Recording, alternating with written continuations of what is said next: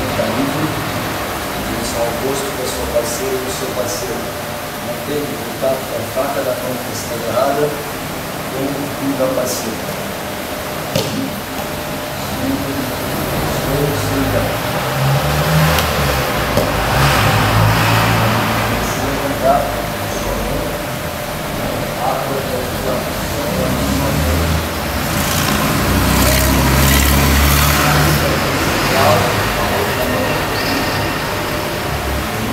nós assim, nos encontramos.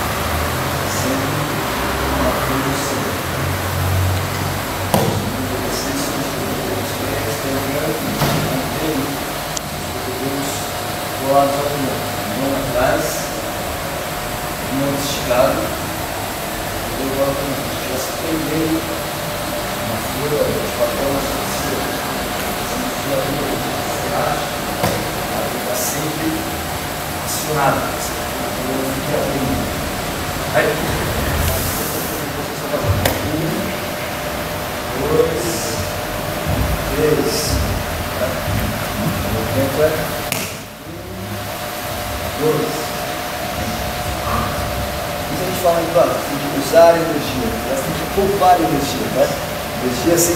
caro na economia, custa caro.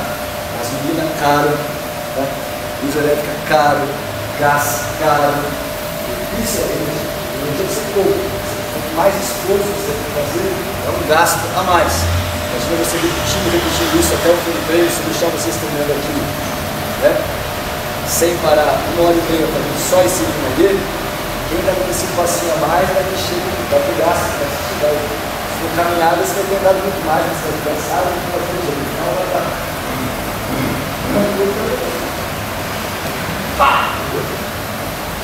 Ou, não tem essa cruzada de perna. Vai entrar.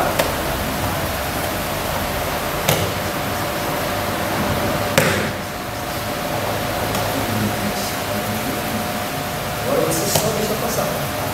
Só que vai Aí com o tempo você vai isso aqui. Deixa a frente direto. Sem parar. Tá? Não tem essa não tem tempo para essa cruzada. Você não vai ver. Tá bom? Você vai dar essa cruzada de perna.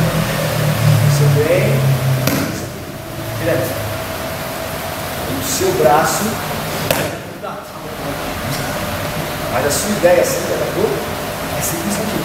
Você entrar direto no parceiro. Ele vai atacar, você está fazendo. Você deixa aqui, aqui. E aí. Passo a passo, abrir. Tem algumas que acontecem. Se o dele abaixar demais, é quando você faz esse tipo de pegada. Aí você entra algum golpe nesse sentido. No caso agora, você não vai abaixar muito o braço, o braço ficar no alto. Aí você deixa o braço passar. Certo? Então cuidado para que vocês não façam isso aqui. Abaixa o braço do parceiro. Não está errado, mas para esse exercício não há necessidade. Tá Esse exercício é isso. Mais firme. É isso. Você deixa passar. O parceiro vai te atacar, você deixa passar. Só que para quem está começando, deixar passar é difícil. Então você faz isso. Um, você faz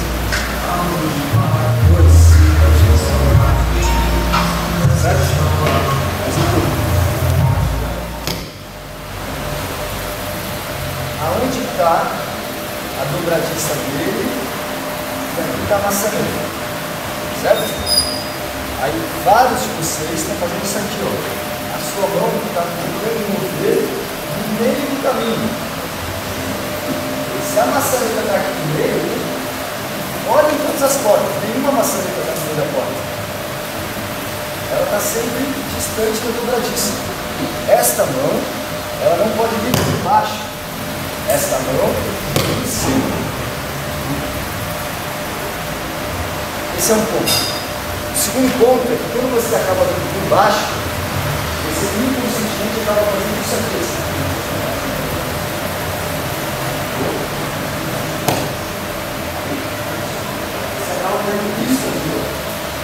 Percebe o que aconteceu? Eu mudo a trajetória ataque livre. Você não vai conseguir mudar a trajetória do ataque. Ele vai atacar, é isso aqui. Você não altera a trajetória.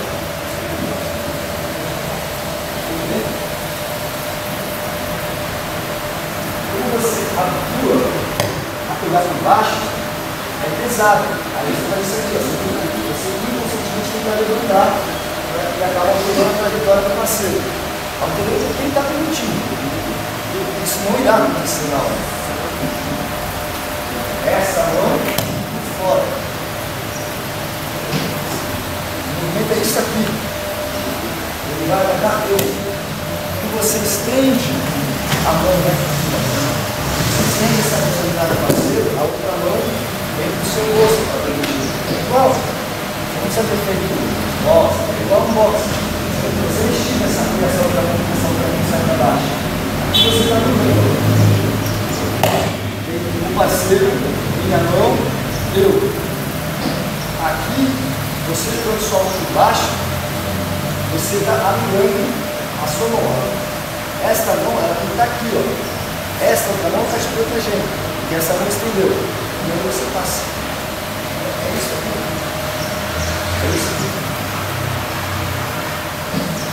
Exatamente o movimento ele vai atacar. Aí com o tempo você só acelera isso. Você só acelera isso. Você só acelera isso. Você só acelera isso.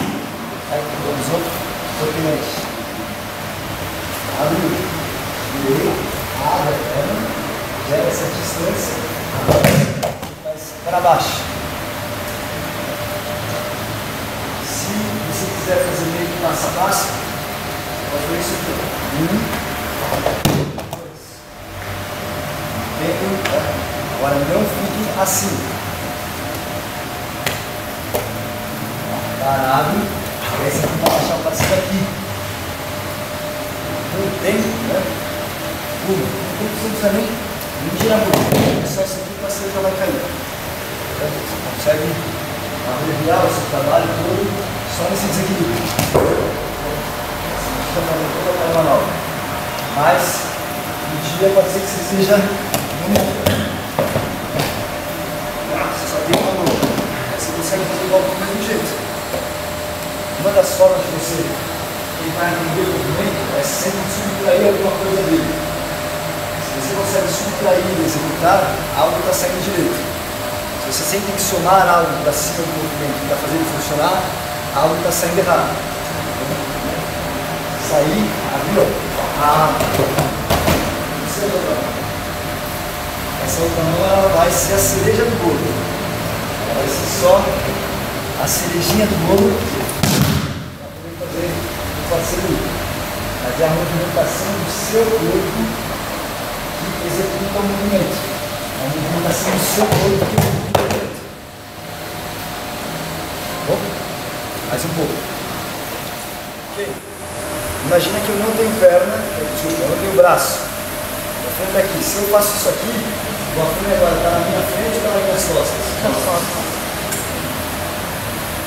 Veja o risco que você está correndo. Você está oferecendo as suas costas para o parceiro um ato completamente desnecessário. Aí depois você pisa e gira. Se você não entendeu pelas costas, vamos ver a economia de movimento. É um, dois. Aí você acaba fazendo um, dois, três.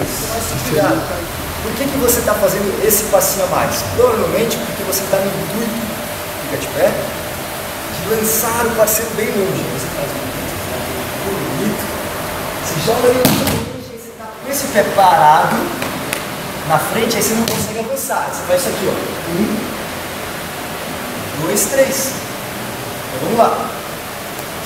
Repare. Como você ficou parado com as pernas e lançou ele esse pé agora, como ele está deste lado, esse pé está travado. E aí você tem essa resposta natural de mover o outro, dando as costas para ele, para depois mover esse outro pé. Então, você, tá, você não resolveu um problema anterior e aí está colocando em outro problema, é o Brasil, né? Está resolvendo um problema, vamos fazer um outro problema para daí solucionar o problema. Então, você está nessa posição, primeiro, a mão que vai vir por cima é o pé que vai ficar na frente. Ele está mais pertinho da pessoa. Agora, esse pé aqui, obviamente, ele está ocupado com o meu peso. Então eu estou livre para dar esse passo e girar. Mas como você acaba virando o seu quadril, agora está ocupado com o peso? Aí o que eu tenho que fazer? Aí já, já virou um problema. Aí o que, eu tenho que fazer? Tenho que fazer isso aqui. Então, né? Lembra que eu falei ontem de coisas que têm alto risco? É uma cadeia de pequenos equívocos que vão levar ao acidente. Você tem que ir fechando as brechas lá desde o início. É igual o checklist. Vai pegar a turma do avião, ele vai lá e começa a fazer uma check. Está funcionando isso? Ok. Está funcionando aquilo? Ok. Está funcionando. Ele vai fazendo uma série de checklists ali para que na hora que der um pepino, esse pepino não seja a queda, porque o plano B recompõe. Agora, se nem, se, pepino você não resolveu, com certeza vai resolver com outro pepino, com outro pepino, aí uma hora degringola. Não segura.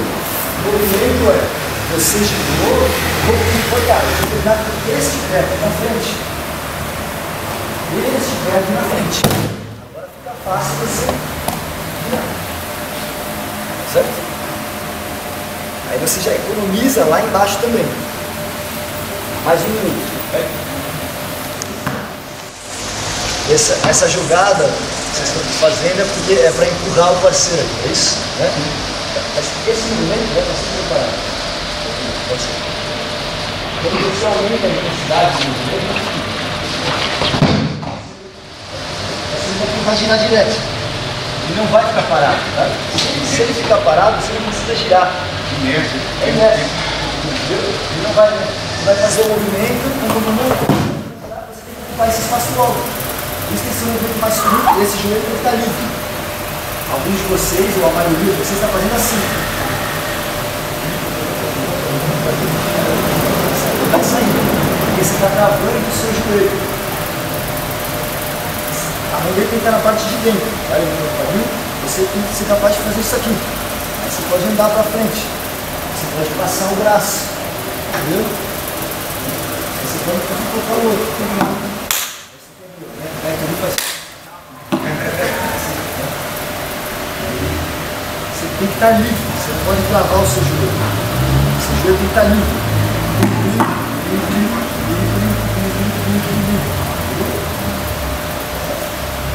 Lá em cima, né? isso é, que esse você tem que entender o que tem movimento. Às vezes a agitação do pé cai, aí o pé está parado. Né? Morreu. Aí, aí vai lá sempre o que sabe mais, fala, não, faz uma precisão assim, aí precisa ver o que. Mas sempre parado aqui, não é verdadeiro você não precisa, você precisa girar para analisar agora. Né? Você pode inclusive fazer isso aqui. Entendeu? Sensei. A gente não faz esse giro para lá porque o cara vai ficar parado. A gente faz esse giro para lá porque a gente vai pegar os iniciantes, eles vão cair e vão tentar girar. Por isso tem que fazer passos, só um, três passos. Terminar com o seu joelho solto, para que você possa também, ó, ir colocando a mão, escalando, fazendo outras coisas, não gravando o seu joelho. É normal, eu isso muito. Às vezes eu estou dando treino, o cara aplica, vai girando. Vai girando. Aí eu vi porque o meu seu chão, ó, tem um problema aí. Não está funcionando. Ah, empurra isso meu. Ah, isso! Olha, você fez do meu jeito. Não, mentira. Eu não vou. Não, esse movimento não é feito para virar a pessoa de barriga para baixo. Esse movimento ele aplicaria, ele tentaria sair. Aí ele gira. Aí, ô, Entendeu? É isso. Só que aí a gente fica buscando uma problemática para consertar um negócio que você não entendeu lá, lá no início. Não há essa necessidade. Esse movimento aqui é só você pegar, vejam quando quem dá aula, faz isso no iniciante, se aplica e já tenta girar. É igual, o Kotegaeshi é um golpe que a gente chama Kakami na Gyoza. Ele projeta e imobiliza. A sensação para o iniciante, é, é, quando recebe Shigonage, é igual. O iniciante vai receber o Shigonage, o que, que o iniciante faz? Aqui, ele cai aqui da aula, vem aqui da aula. Quando ele se distrai, depois de cair, ele gira. Porque é a mesma sensação para ele. É por isso, aí vai lá a turma que dá aula e pega, tem que mobilizar, travar. Você não vai mobilizar o cara lá embaixo. Não é, Shigonagi não vai ter esse efeito. Aí você está aqui, é por isso que tem essa mãozinha aqui no Shigonagi. Está aqui assim, né? Claro que.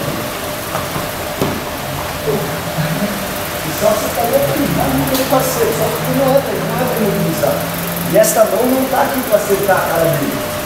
Essa mão é uma conversa com ele, tipo, não gira. Não gira que você está só nu, tá? Aí você, ah, ok. Só você fala, para, parou, parou. Aí você vai, vira no que eu pegar esse, isso aqui é só porque eu tenho que girar rápido, girar rápido, lá, você gira junto. Você você gerou essa inércia. Você, quando você quiser vigoroso, ele vai. Né? Sensei, pode mostrar de novo se ele parar embaixo? É porque eu estava de costas. No... Se o parceiro parar embaixo, tá? Parado embaixo, ó, você ah, pera aí, no chão, faz aqui a chave do punho. Você bota o punho no chão, chave do punho. Você pode até virar essa chave do outro lado e fazer essa chave. Você pode botar a perna aqui, trazer ele pelo cotovelo. Pronto, se você quiser deixar ele de barriga para baixo, isso é mais rápido.